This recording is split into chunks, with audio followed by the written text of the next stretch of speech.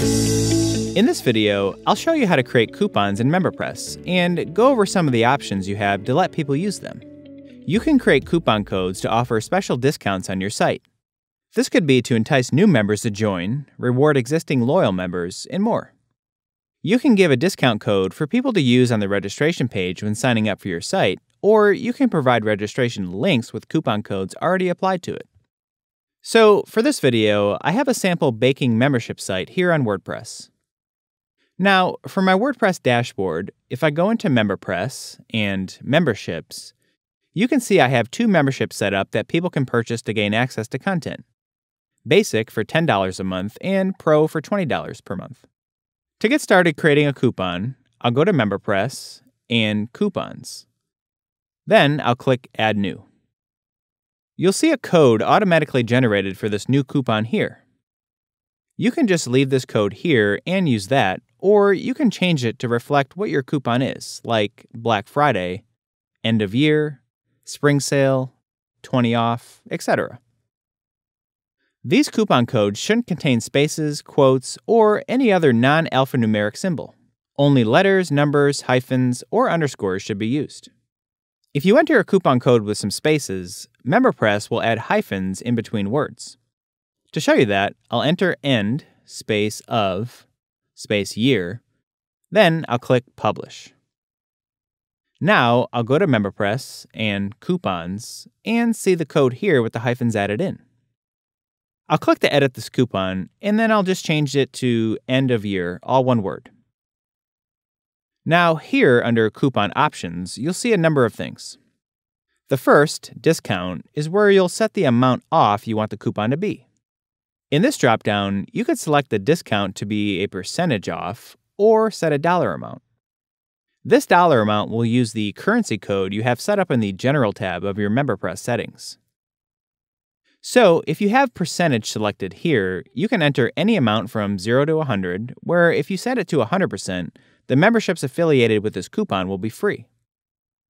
Now, these discounts will act differently depending on if the memberships you select below for the coupon are recurring, like billed every month or year, for example, or are one time, meaning users pay only one time.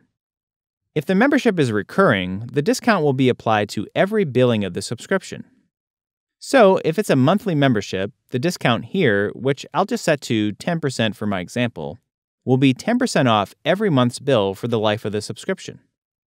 If you set the percentage to be 100% on a recurring subscription, the member will get lifetime access for free.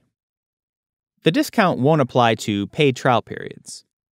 If you have a trial period set up in your membership edit page, say 7 days for $5, this discount won't apply to those 7 days. If the membership is one time, it'll simply apply the discount to the first and only one time payment. Okay, so the next option you see is discount mode. And the first option here is standard. This simply applies the discount to the amount of the subscription or charge. Next, first payment will let you set a different discount on the first transaction than the subsequent transactions in a recurring subscription. If this first payment value is set for a non recurring payment, like a one time membership, then the first payment discount will override the coupon's main discount. So I could, just as an example, select first payment as the discount mode and set it to 20%. So my member's first payment amount would be 20% off, then 10% off for all other billings. You could also use this first payment mode to only give the first payment a discount, like 50%, and no discount on the subsequent payments. And that would look like this. The third discount mode is Trial Period Override.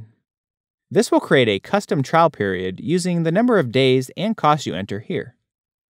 This option will only work on recurring payments and will override any trials already set up on the membership. With trial period override, the discount set here will still apply to the subscription's recurring amount after the trial period. See our support docs for more info on trial period override.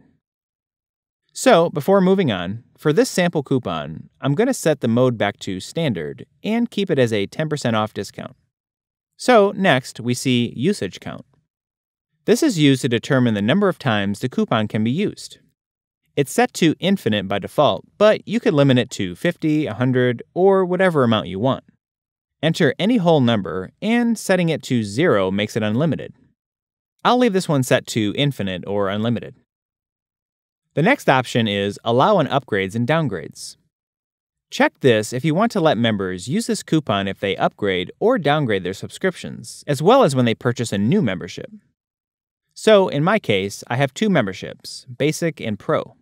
If I check Allow on upgrades and downgrades, if a user signs up for my basic membership, they'll get my 10% off discount when they sign up. And if they decide to upgrade to my Pro membership later, they can use this coupon code to upgrade their subscription too.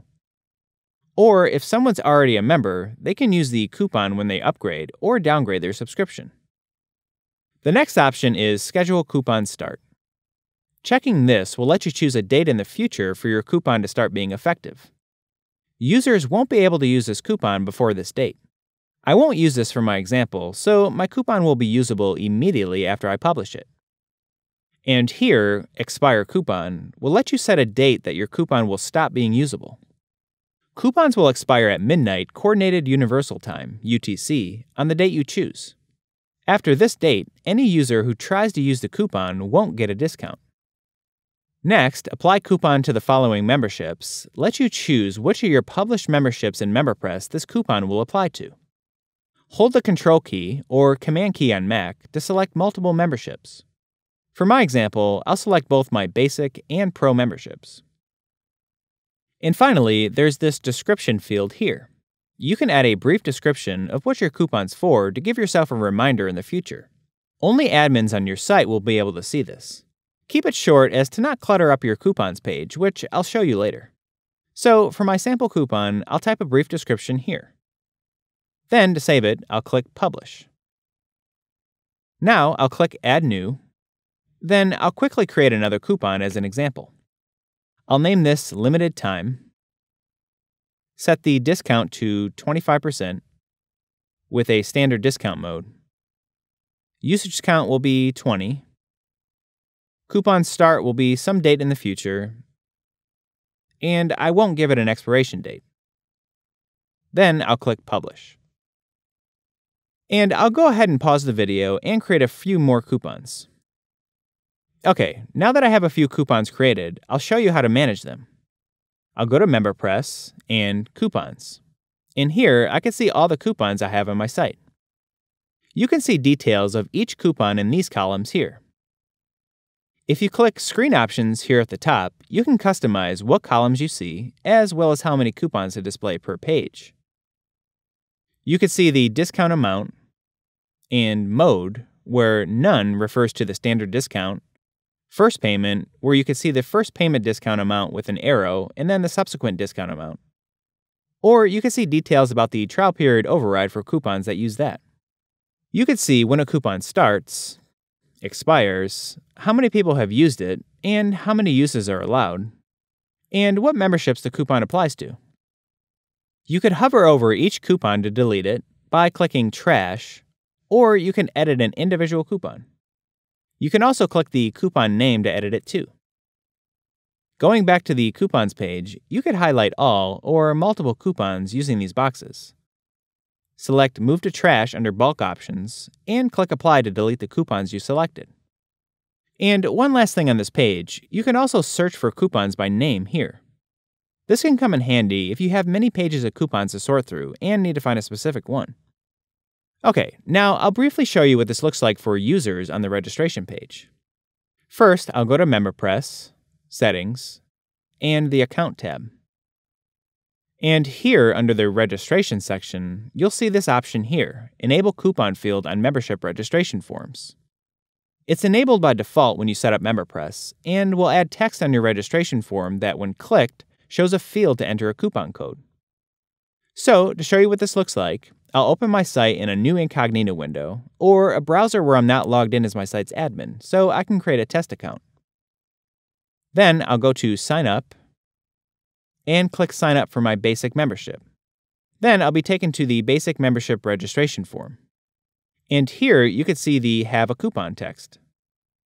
I'll enter some fake testing data here on the registration.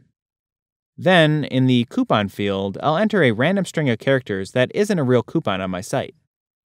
And then I'll see this invalid coupon text here.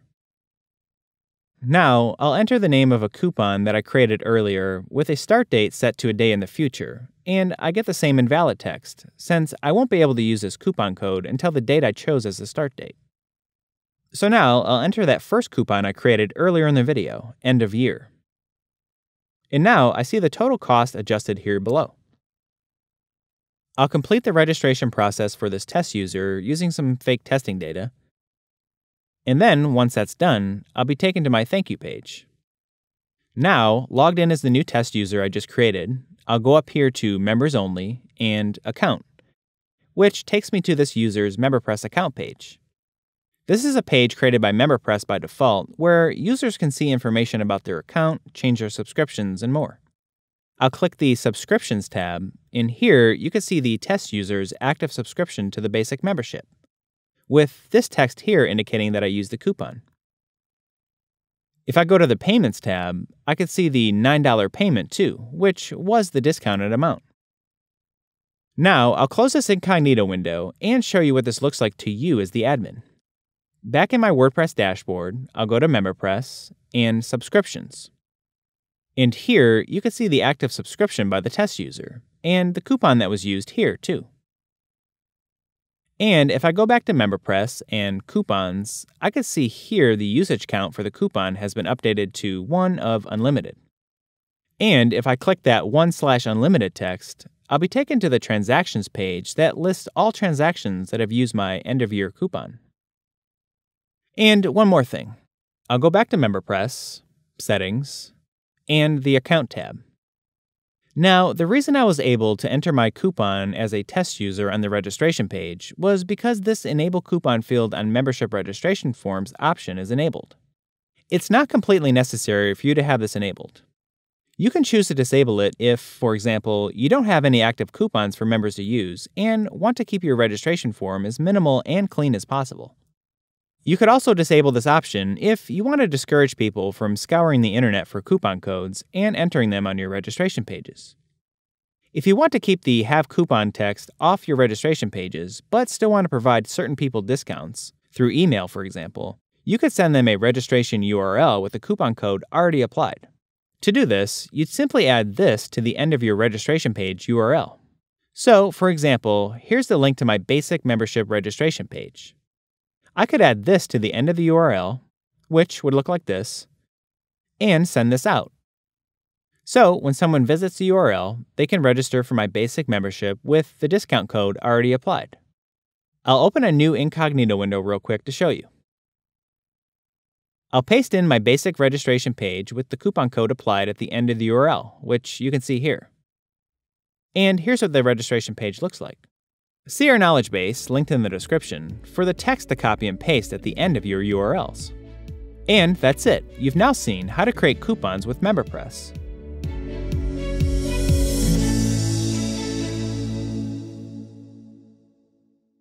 If you liked the video, be sure to like, subscribe, and check out our other videos that makes getting MemberPress up and running a breeze.